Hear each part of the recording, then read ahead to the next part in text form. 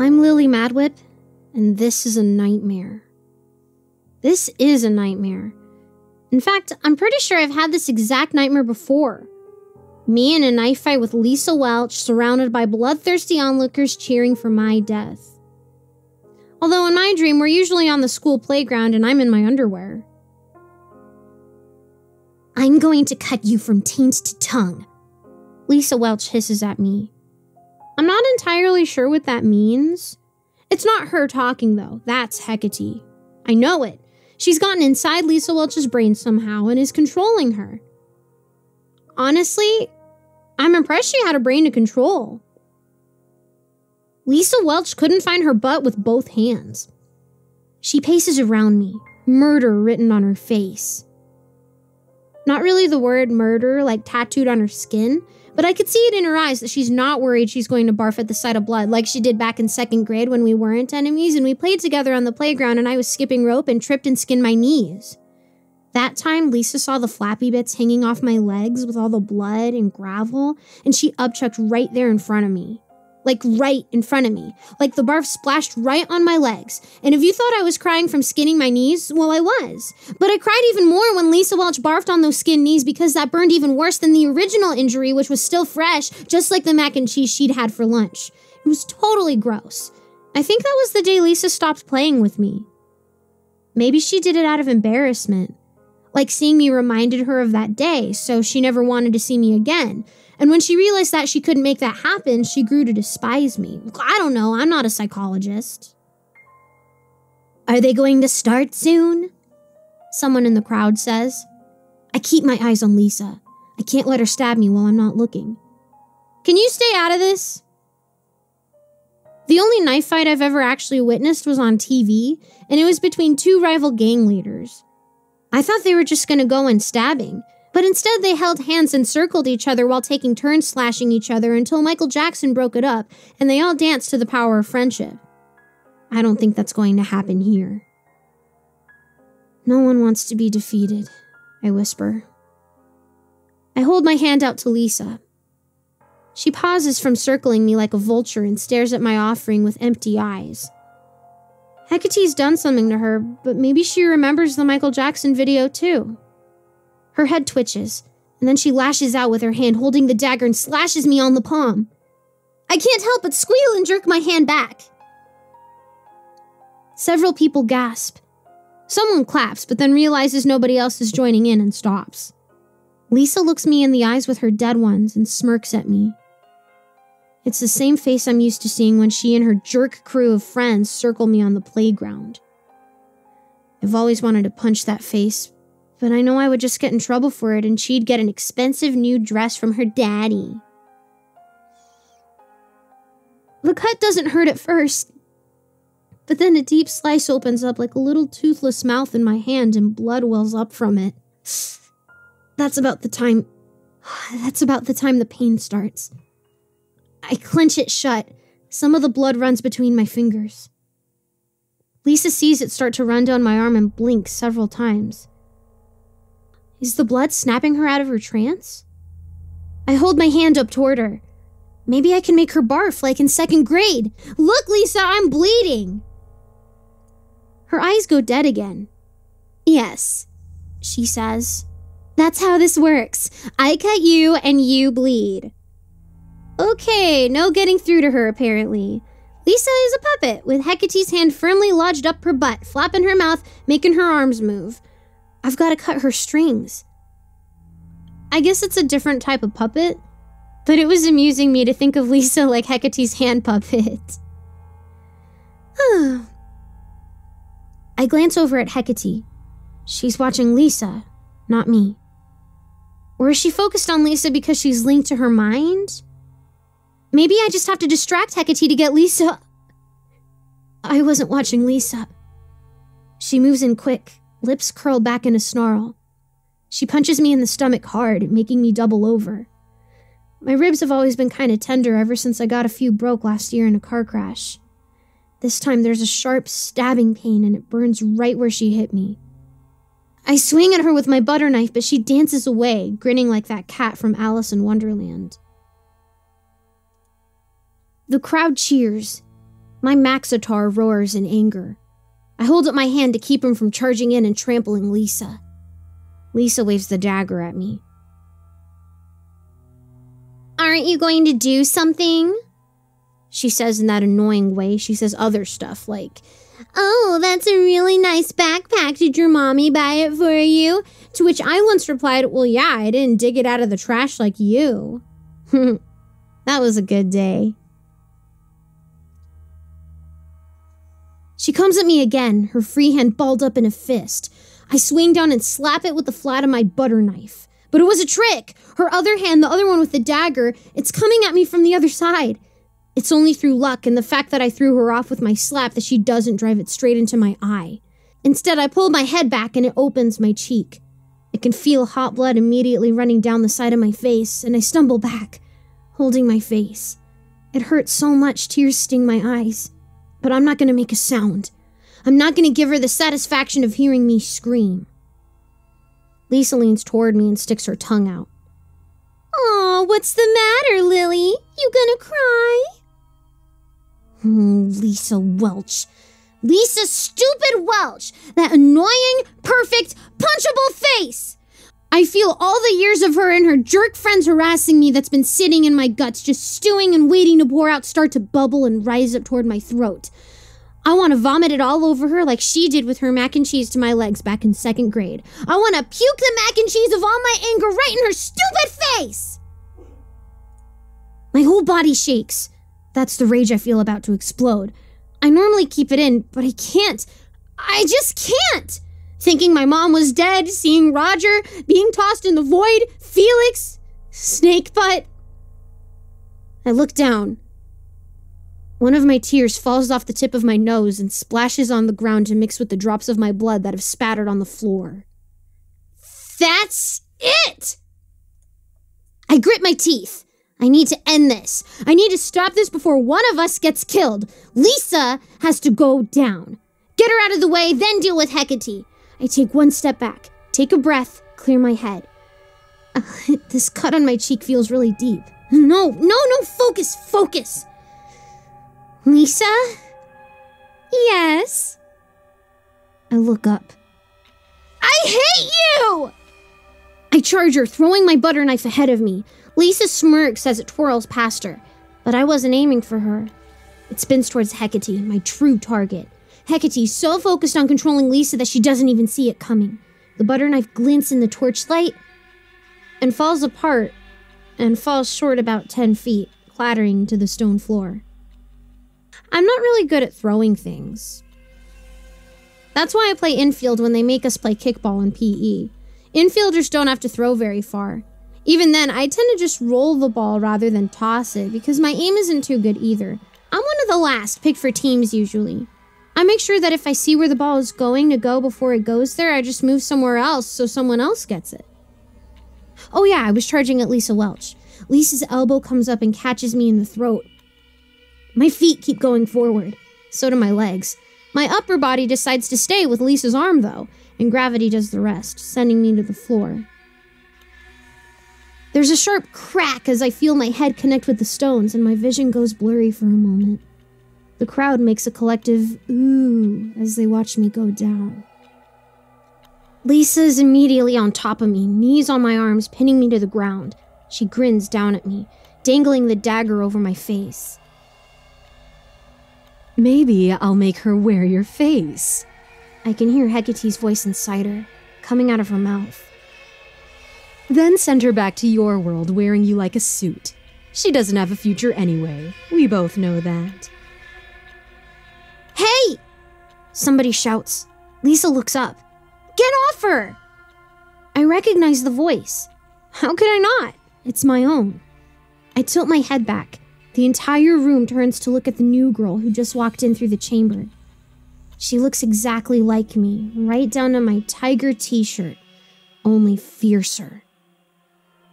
Her, not the tiger. She got all the anger written on her face that I feel in my heart. Just in time, oh no. Lisa blinks and her eyes go normal. Hecate must not be paying attention anymore. She grips the dagger handle firmly, which is good because the alternative was that she was just going to let go of it and it plunges into my face. She stares at the other me, who just walked in, and I can almost hear the gears in her head screeching to a halt. It's like one of those fancy salt shakers they have at restaurants that grinds the salt up. Wait, what? She says, looking back and forth between me and the doorway and the me she's currently sitting on. That's just a trick, Hecate says. You're not fooling me with your petty illusions, daughter. She waves her hand dismissively at my clone. Someone else steps out from behind Ono. A few people crane their necks to see who it is. I'm one of those neck craners. Everything's upside down from here on the floor. But I still recognize her black hair that she uses to cover the side of her face, where the fire burned her. Meredith! I shout. Meredith clutches her melted Barbie Nathaniel and looks at me pinned on the floor, with an expression of confusion on her face about on par with Lisa's. She's got on green jeans with overalls and a black long sleeve shirt, but she's wearing furry bunny slippers on her feet. I wonder what she was up to before she came here. Lily? She asks, then quickly looks at Ono disguised as me and squeezes Nathaniel tighter. She looks just like you. I don't understand. It's, a long story, Ono and I say in unison. Hecate remains unconcerned. And who is this child? She asks. The crowd of her followers start to murmur. That's Meredith, Lisa says casually, sniffling and wiping her nose with her dagger hand. If she weren't sitting on my arms, I'd have half a mind to reach up and help her stab herself in the face with it. But she isn't paying attention to me, and Hecate's lost control of her, it seems. And that's all I need.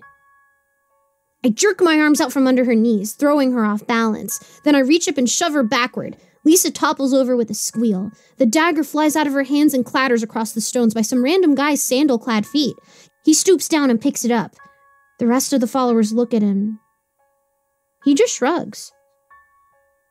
In the meantime, I'm on my feet, or rather, I've pulled myself out from under Lisa Welch, who is flat on her back with her feet in the air like some sort of possum. She's not saying anything, just looking rather stunned. While she sits there like a lump, I scurry over to Ono and Meredith, who look similarly baffled. I scramble to my feet. Meredith! I hug her. She tenses up, but doesn't resist. She feels warm. Maybe a little too warm. Meredith has a thing with fire. Like, she burns things, just by thinking about it. That's thanks to her melted Barbie, who's actually a totem for her angel, Nathaniel. I look at Ono. It's like looking in a mirror. You were just supposed to bring the doll. Well, she was with the doll, and she wasn't willing to give it up. Ono shrugs. I ended up telling her I needed her help to stop a bad person. Would you rather I return empty handed? If one of us gets the totem of another, we borrow the powers with it. And when there's two or more of us, those powers get amplified, like through a bullhorn. I didn't want to get Meredith mixed up in this, but I needed her doll so I could surprise Hecate with some fireworks. Time to improvise, I guess. Hold up, Meredith grabs my shoulders and moves me arm's length away from her. Can we talk about the part where there's two of you? What is going on here? Is this a new power? Ono and I look at each other. Ono nods, then takes a step back. One quick change coming up. You might want to look away, Meredith, I say. Ono is about to do her melting routine, it's very disturbing to see, and Meredith doesn't need any more nightmares about people melting, I imagine. Meredith covers her eyes. Ono starts to melt and reform into her normal self. What the F? Lisa Welch shouts. Oh, right, I almost forgot about Lisa. She's still sitting on the floor with her eyes bugging out of her head and her mouth hanging open. She starts making a gagging sound as she witnesses Ono transform, and then she covers her mouth and looks away. A moment later, she barfs through her fingers. it's brown and it splashes on the stones, causing everyone near her to groan and step back, covering their own mouths as if the act of puking is contagious and they're all going to start doing it. At least I know she's no longer Hecate's control. And that she didn't eat mac and cheese recently. It takes me a moment to realize that Hecate is not standing behind Lisa. In fact, I don't see her at all. What did she do? Run away? Oh, come on! I had this whole big bad showdown planned, and of course, the big bad you would have to run away again. This is just like last year when I tried to face Felix Weaselman, and instead of letting me kick his butt, he threw his totem at me and fled. Ahem. Oh, ono coughs. I turned back to her and Meredith. Ono has transformed back into her thin, scrawny, pale looking self. She smiles at me. Probably because she doesn't realize Hecate has somehow gotten behind us and is standing over her with a long metal spear, and Hecate is not smiling. Oh no! I scream. I try to move, but my legs are so heavy. So very, very heavy. I can see the murderous rage in Hecate's eyes. The same rage was in Lisa's eyes when Hecate was controlling her. Just a dead, purposeful anger and one thing to focus it on. Okay, okay, you can do anything, Lily. You can make and remake the world here. I hear it in my head. So I make a thing. I hold my hand up, my arm feeling as heavy as my legs, and make a shield. It's round and metal and shiny. So shiny it's like a mirror. I see it in my head, so perfect, a hard protective shield, like they wear in movies with gladiators. And there it is, formed between Hecate and Ono, just as Hecate drives her spear down towards her adopted, stolen daughter. The spear meets the shield, and they slam into Ono's back, throwing her forward. For a moment, I think, I did it. I'm a hero. I saved somebody. But then the tip of the spear tears through the front of Ono's ragged shirt, already red and wet with her blood, and Ono looks as shocked and confused as I feel. My shield. It failed. Hecate grits her teeth and just keeps pushing, shoving more of the spear through the broken shield and through Ono's body. You ungrateful little wretch! She snarls, do you think I didn't know you would betray me? There's nothing you can hide from me here. Ono is driven to the floor, retching up blood. She doesn't cry out or scream. Or maybe she does. I just can't hear it over my own scream. Meredith uncovers her eyes just in time to see Ono crumple over, blood spilling out underneath her. She opens her mouth in a scream as well. We're both screaming, I think Lisa is screaming too because the whole chamber is filling with screams. Hecate thrusts her spear away from herself, letting Ono roll all over the floor, blood gushing out of her. I hurry to her side to get help, but Hecate's hand comes out of nowhere and slaps me aside like a rag doll. I fall to the floor beside Ono. She looks at me, reaching out a hand weakly. Her eyes are filled with sadness. There's blood coming out of her mouth and nose. Lily, she says softly. Her eyes look past me like she can't see me anymore. I twist my head and glare at Hecate. You evil bitch! You are going to die in a fire! I yell. My voice echoes through the chamber. Yes, yes, I'll pay the swear jar when I get home. Hecate starts to laugh. oh, am I? Yes, Meredith says calmly as she wipes the tears from her eyes. Yes, you are. Heat comes off of Meredith so fast I see the air ripple like water in a pond when you've thrown a big rock in it. My dad used to take me to this pond in town and try to teach me how to skip stones, but I just didn't have the wrists for it. I always ended up trying to sploosh big rocks instead. He would help me dig up the biggest rocks we could find nearby, and then he'd let me toss them overhead into the water and we'd cheer whenever one made a splash so big it got us wet. Fire isn't like water. Nobody cheers when fire pours over you. If you sat in the bathtub filled with fire, you might get clean, but not the sort of clean you really want. The fire Meredith makes comes up from the floor like a wave. I see it like the world has fallen into slow motion, rising up, curling over itself, slapping Hecate like a tsunami. That's a really big wave made by earthquakes. We learned about all the natural disasters in school. even though there's never any danger of a tsunami hitting us. Hecate and her clothes catch fire easily. Everything on a person burns pretty easily, I've learned, even people themselves. But it's not enough. Meredith clenches her fists, holding her melted Barbie tight, and the fire just keeps coming off her. The heat is so intense I actually need to crawl back a bit because it's starting to make the stones too hot to be laying on. I try to grab Ono's arm and pull her away, but she's too heavy. Her skin is already blistering from it. Meredith? I yell. Stop! Meredith doesn't stop. Hecate gets smashed by another wall of fire. She's completely engulfed in it. All I can make out of her is a black silhouette. Or maybe that's her flesh. I don't know. She raises her arms and rain starts coming down from out of nowhere. Everybody else in the chamber starts yelling. I don't know why they weren't yelling already. Blood and fire don't phase you people, but a little water falling from the sky does? okay. The rain hisses as it hits stones around us, the flames covering Hecate's sizzle. Meredith roars.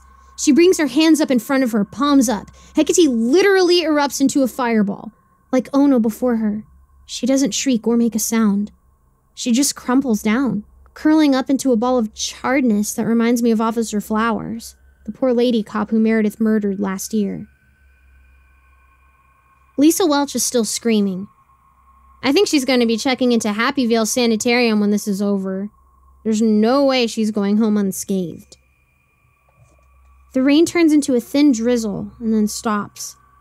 Hecate continues to burn, then smolders for a bit until she's just a black, unrecognizable lump. Ono's body lies red and blistered beside her. I'm ready to cry now. This is not how it was supposed to happen. Ono was supposed to bring me Meredith's totem, and then I would set Hecate on fire. Meredith already has the guilt of killing Officer Flowers to suffer with. This was supposed to be my burden. Nobody in Hecate's group of followers seems the least bit bothered by what just happened. One of them nudges another and points at Lisa sitting in her pool of vomit, and they both chuckle. it's not exactly the reaction I was expecting them to have from seeing their queen of countless eons dying at the hands of two little girls. Meredith drops to her knees, gasping for breath. The air around us immediately feels cooler, and I'm grateful. There are some red marks on my hands and knees from crawling on the hot stones, and they're probably going to turn into welts later. My Maxitar snorts and bangs his big axe on the floor. I think that's his way of showing his approval, but I'm not entirely familiar with the ins and outs of Maxitars. Hipsauce just looks bewildered. I imagine he'd like to go back home now. And then it occurs to me I have no idea how to get home. Ono was supposed to lead me out once I dealt with Hecate, and, and she'd take over ruling the Vale in her fake mother's place, but now Ono is dead. Hecate, too. And there's only one person left who can rule her place, and that's. Hecate's burned corpse stirs. It rustles a bit, some of the black ash and crackling bits of burnt cloth and skin crumpling off. And then it sits up. The small black lump atop the rest of it makes a horrible grinding sound as it rotates around, and then two burnt, crispy eyelids open and white eyes stare at us. A mouth appears beneath them. And she begins to speak. Did you really think that this would end me? Her voice sounds hoarse. Meredith and I give each other the side eye. That's the look you give someone when you're both experiencing the weirdest thing you've ever seen. Well, yes, I admit. Hecate's charred remains start gathering into a human shape. Or maybe she's just standing back up. It's really hard to tell when she's a big black charcoal. Little girl, I've been alive for thousands of years. I fought hundreds like you. Fire starters, ice makers, poison breathers, men who could rip you into pieces with a thought. Women who could burst your heart with a wail from their lips. You fought an ice maker? I ask. I imagine Hecate in Mortal Kombat with my Uncle George's refrigerator. It had an ice maker that was always on the fritz. Hecate could pound her fist into that thing until another thousand years passed and she'd still never get any ice out of it. But I am the god of this realm, and reality here bends to my will. Hecate stiffens, then reaches up and brushes her face, wiping the appearance of burnt flesh and hair away like an eraser on a drawing. She runs her fingers back through her hair, and it's as if the last few minutes have never happened. Well, that's bullshit, Meredith quips. I look down at Ono's body, pathetic and small by Hecate's feet feeling a momentary twinge of hope that she's going to stand up too and pull the spear out and laugh and say, April Fools! But I don't think she knows what April Fools is. And she doesn't stand up. She just lays there, dead. What is the point of all this?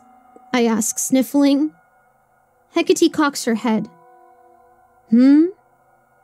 Frustrated, I wave my arms at everything in the room. What's the point of bringing me here? You can rebuild yourself from death in seconds, but you get all pissy that a section of your big stupid maze got wrecked? And that wasn't even by me. That was some jerk angel who did that. But what does it matter? You can snap your own fingers and remake it. This was a test. Hecate stretches her arms over her head. Something inside of her pops to see if you were the one to take my place here. I've been trying to find someone as gifted in the art of pure creation as me to take over. So I passed your stupid test, I mutter, clenching my fists. And now you just expect me to willingly stay here forever? Hecate clicks her tongue at me. You didn't pass, you idiot. You haven't created a thing. You got Anakoli to betray me, but I knew she would do it someday. And as for your little friend, well, you've only doomed her with you. The air starts to warm up. Meredith is going into defense mode. I created the butter knife, I point out. Hecate snorts. And the Maxotar. I point at my Maxotar. He hefts his axe and bellows loudly to show off. Hecate raises her eyebrows and shrugs slightly paltry conjurations. Things you've seen before. Do you even understand what is available here? Anything, not just some half man you read about in a book. What are you going to do to us? Meredith shouts. I notice her hands are glowing red. I can see the bones and veins in them. Oh, please don't go off again, Meredith. I'm right next to you. Hecate strokes her chin and looks Meredith up and down. You. I like your spirit. I look forward to breaking you. Then she turns to me. But you. You're useless. You were supposed to be the knife that cuts the veil. But you can't even save yourself. How many times do you have to rely on others to come to your rescue, hmm? Just once more comes a familiar voice from behind me. A man walks into the room. At least I think it's a man. He's wearing a shiny yellow suit like Doc Brown wore in Back to the Future, with black gloves and boots on. I can't see his face because it's covered in some sort of gray rubber mask with a canister hanging off of the front like a big metal nose and large dark goggles concealing his eyes. It's strapped on his face with only his ears and neatly cut white hair sticking out. A long braided tube winds down to a box at his side that's slung over his shoulder on a strap. You can't be here! Hecate yells. She starts to chant and waves her hands in some sort of spell casting motion. Another being enters from behind the first, dressed exactly the same, but with a black suit instead of the yellow one. He raises a single finger. Be silent, Hecate's voice cuts out like someone pulled the wires on her microphone. She clutches her throat, and for the first time ever, she looks panicked. She turns to her group of followers, who have all taken several steps back from these new intruders. They all look at her with uncertainty, but she makes a gesture that I can only interpret as do something. And suddenly, they start to yell and move forward. I notice Lisa Welch crawl out of their way. Two more beings enter behind the first two, one dressed in orange. He raises both hands out in front of him like he's clutching a pair of doorknobs. Take one step more and I will tear this entire place down and every one of you with it. He says through the mask. The other new being is in a shiny gold suit. He moves quickly, striding across the room toward the crowd of angry followers. But he's not going for them. He stoops next to Lisa Welch, pathetic Lisa Welch, and reaches out to her. She cringes away from him. My name is Jophiel, he says. I've come to take you home. Let me carry you. Lisa doesn't respond. I don't know, maybe she's too far gone. But the man kneels down and picks her up in his arms. As swiftly as he crossed the room before, he moves now for the door again, disappearing behind the other three. I look at the person in the yellow suit. I can't tell if he's looking at me or not, what with the dark goggles and his mask. I wish I could see his face and know if he was smiling down at me. Lily, he says softly, I'm sorry. I run to him and hug him, not caring that his big plastic suit makes it sound like I'm hugging the tarp my father uses to carry leaves with when he rakes the yard in the fall. I want to cry. I also want him to pick me up like that other guy did for Lisa and carry me home. He pats my hair and hugs me back. Pasher.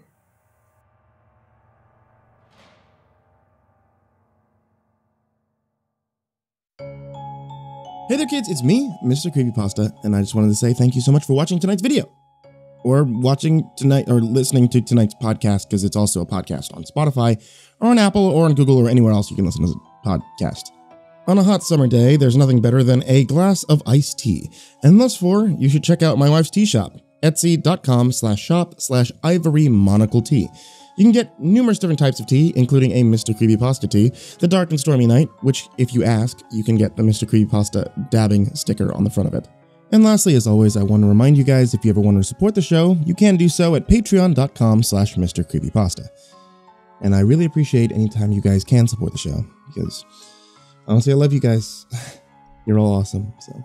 A very special thank you to Jordan Alexander Sanchez, Haha Saha, Ken Lenda Higuchi, Mazakine, Champinski, The Red Oak Shield Virus, G Weevil 3, Diana Kraus, Stephen Van Huss, Chance Burnett, Tristan Pelton, Nico Cow, The Ginger Bros, Last Blade Song, Caleb Dougal, Sky Harbor, The Homeless Bird 93, Bobby Karen, Liam Newman, Aaron Stormcrow, Barbara Maceo, Thomas Burgett, S-Man, Kiri the Sloth, Bad Honey, Someone You Love, Said the King 56, Shadow Morningstar, Mad Marstomp, Mr. Thud, Patrick Schoolmeister, Z. Kearley, Wolfie Nums, Rafael Rodriguez, WR Axis, Prozac and Pancakes, Mike Bullock, Acid System, Lauren, Brian Ars, and Rumble Fox. And also a huge thank you to everybody who's down there in the description down below. You guys, as always, are the real MVPs, and I appreciate you more than I can possibly say.